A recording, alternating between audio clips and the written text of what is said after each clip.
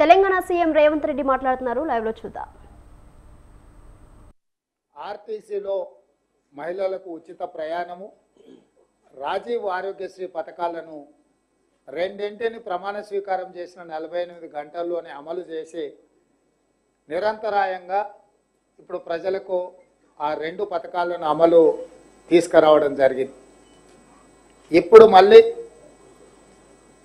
రాష్ట్ర ప్రభుత్వం ఆర్థిక వెసులుబాటును అంచనా వేసుకొని నిజమైన లబ్ధిదారులకి ఈ పథకాన్ని అమలు చేయాలన్న ఆలోచనతోటి ప్రజాపాలన పేరు మీద గ్రామ సభలు నిర్వహించి ప్రజల దగ్గరికి వెళ్ళి గ్రామాలలో ఈ పథకాలకు అవసరమైన అర్హుల నుంచి వాళ్ళ నుంచి అప్లికేషన్స్ తీసుకొని వాటిని క్రోడీకరించి అర్హులైన నిజమైన లబ్ధిదారులకు ఈరోజు రెండు వందల యూనిట్ల వరకు గృహ అవసరాలకు ఉచిత విద్యుత్తు అదేవిధంగా ఐదు వందల రూపాయలకే సిలిండర్ కార్యక్రమాన్ని ఈరోజు లాంఛనంగా ప్రారంభించుకుంటున్నాం.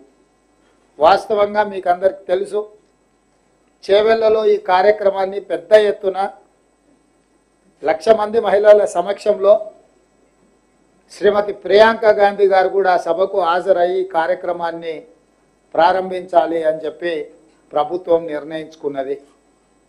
కానీ నిన్న మహబూబ్నగర్ జిల్లా స్థానిక సంస్థల ఎమ్మెల్సీ ఎన్నికల ప్రకటన రావడము పాత ఉమ్మడి మహబూబ్నగర్ జిల్లాలో ఉన్న మండలాలు వివిధ జిల్లాలలో ఉండడం వల్ల ఎన్నికల కోడు ఎన్నికల నిబంధనలు అడ్డు రావడంతో చేవెళ్ళలో ప్రారంభించాలనుకున్న ఈ కార్యక్రమాన్ని ఈరోజు సచివాలయానికి మార్చి ఇక్కడ మా అందరి మంత్రులు శాసనసభ్యులు శాసనమండలి సభ్యులు ప్రభుత్వ అధికారులు హైదరాబాద్ మేయర్తో సహా చాలామంది కార్యక్రమంలో హాజరయ్యి ఈరోజు లబ్ధిదారులకు లాంఛనంగా ఇక్కడ ఈ కార్యక్రమాన్ని ప్రారంభించుకుంటున్నాము. మీకు అందరికీ తెలుసు కట్టెల పొయ్యితో కష్టాలు పడుతూ కన్నీళ్ళు పెడుతున్న ఆడబిడ్డల కోసం దీపం పథకం ద్వారా కష్టాలు తీరవడానికి ఆనాడు శ్రీమతి సోనియా గాంధీ గారే పేదలకు గ్యాస్ స్టవ్ సిలిండర్ ఇవ్వాలన్న ఒక గొప్ప పథకాన్ని ఆ రోజు యూపీఏ ప్రభుత్వం తీసుకొచ్చింది.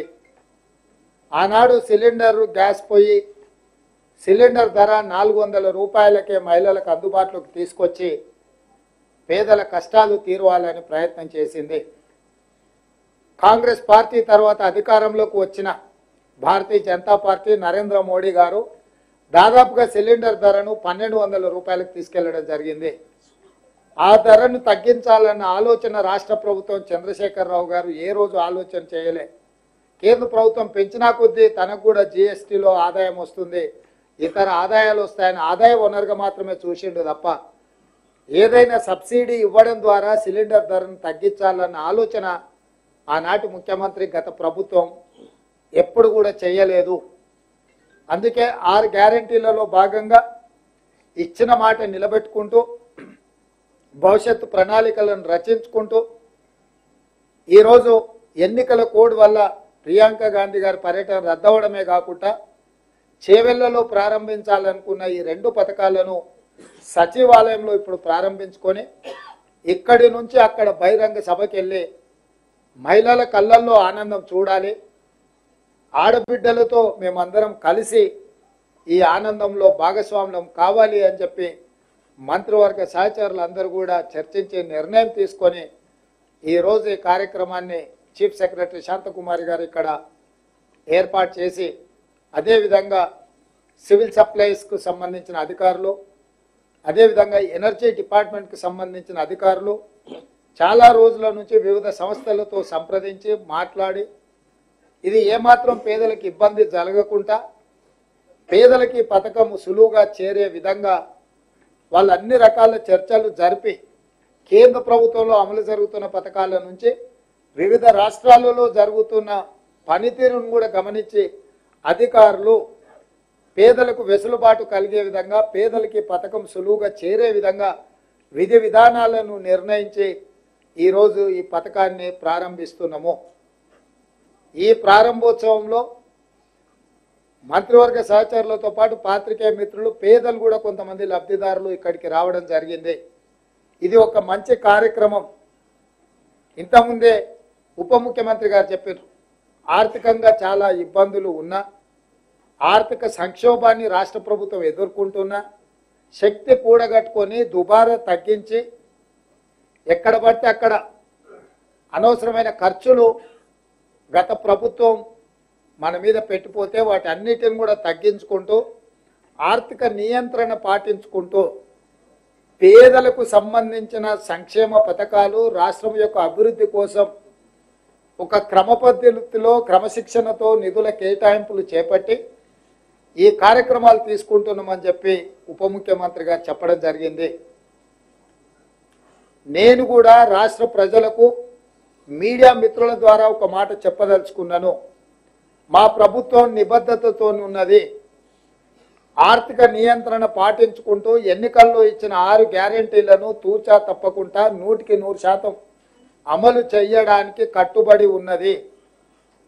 ఎవరు ఎన్ని తప్పుడు ప్రచారాలు చేసినా ఎవరు ఎలాంటి మాటలు మాట్లాడినా పిల్లి శాపనార్థాలకు ఉట్టి తెగిపడదు అన్నట్టుగా తండ్రి కొడుకులు కానీ మామ అల్లుడు కానీ ఇది జరగకపోతే బాగుండు అది ఇవ్వకపోతే బాగుండు.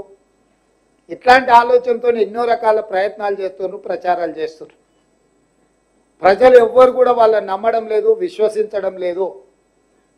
అందుకే ఈరోజు వాళ్ళు రకరకాల తప్పుడు ప్రచారాలు చేసే ప్రయత్నం చేస్తున్నారు ఏది ఏమైనా శ్రీమతి సోనియా గాంధీ గారు మాట ఇచ్చిండ్రు అంటే మాట తప్పని మడమ తిప్పని నాయకురాలు శ్రీమతి సోనియా గాంధీ గారు వారు ఏదైనా మాట ఇచ్చిండ్రు అంటే అది శిలాశాసనం. ఆ శిలాశాసనాన్ని చరిత్రలో సువర్ణ అక్షరాలతో లిఖించదగే విధంగా మా ప్రభుత్వం అమలు చేసి తీరుతుంది. సోనియా గాంధీ గారు ఇచ్చిన మాట ఏది కూడా ఈ రాష్ట్ర ప్రభుత్వం అమలు చేయకుండా ఊరుకోదు. తప్పకుండా శ్రీమతి సోనియా గాంధీ గారి మాట నిలబెట్టి వారి గౌరవం పెంచే విధంగా ఈరోజు దేశంలోనే తెలంగాణ మోడల్ తెలంగాణ నమూనా ప్రభుత్వాన్ని మేము ఇస్తాము అని చెప్పి కాంగ్రెస్ పార్టీ గొప్పగా చెప్పుకునే విధంగా తెలంగాణ రాష్ట్రంలో సంక్షేమ పథకాలను అమలు చేసుకుంటూ రాష్ట్రాన్ని అభివృద్ధి పదం వైపు నడిపించే బాధ్యత మేము తీసుకుంటున్నాము. ఈ కార్యక్రమంలో మీడియా మిత్రులను కూడా కలిసి రావాల్సిందిగా సహకరించాల్సిందిగా ఈ సందర్భంగా మీకు అందరికీ నేను విజ్ఞప్తి చేస్తున్నా. అభయహస్తం అందరి నేస్తం అంటూ సందేశం అందించిన ముఖ్యమంత్రి గారికి ధన్యవాదాలతో ఇప్పుడు లాంఛనంగా ఈ ఐదుగురు లబ్ధిదారులకు మహాలక్ష్మి గృహజ్యోతి అందించడం జరుగుతుంది. లబ్ధిదారుని వేదికపైకి ఆహ్వానిస్తున్నాను. మహిళా మంత్రివర్యులు మహిళా ఎమ్మెల్యేలు ఎమ్మెల్యే ఎమ్మెల్యేలు ముందుకు రావాల్సిన రిక్వెస్ట్ చేస్తున్నాం. మహిళలందరూ సోదరి మనందరూ మేయర్ గారు రోషమ్మ గారు రోషమ్మ గారు ఆ తర్వాత రెండమ్మ. ఇప్పుడు ఒక రిఫిల్ అలాగే ఆ gas bill. I request C గారు టు ఆల్సో జాయిన్. సార్ ముందుకు రండి సార్. బాబు కార్డులు వేస్తున్నాము అది ఒకప్పుడు మన పల్లెల్లో గ్యాసు బండ అంటారు. అది గ్యాసు బండ కాదు తెలంగాణ ప్రభుత్వపు అండ అని నిరూపిస్తుంది వేదిక. రోషమ్మ ఆ తర్వాత స్వప్న. వెళ్ళిందా స్వప్న ఇక్కడ ఆపండి sir.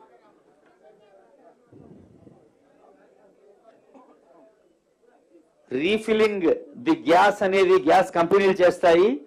Refilling the financial assistance అనేది మళ్ళీ ప్రభుత్వం చేస్తుంది.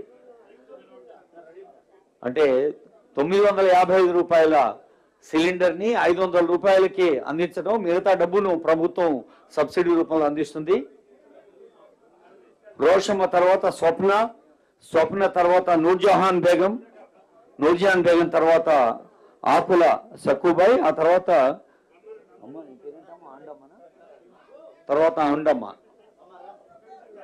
ఇది రాష్ట్ర పౌర సరఫరాల శాఖ ఆ తర్వాత విద్యుత్ శాఖ వారు సిద్ధంగా ఉండాలి.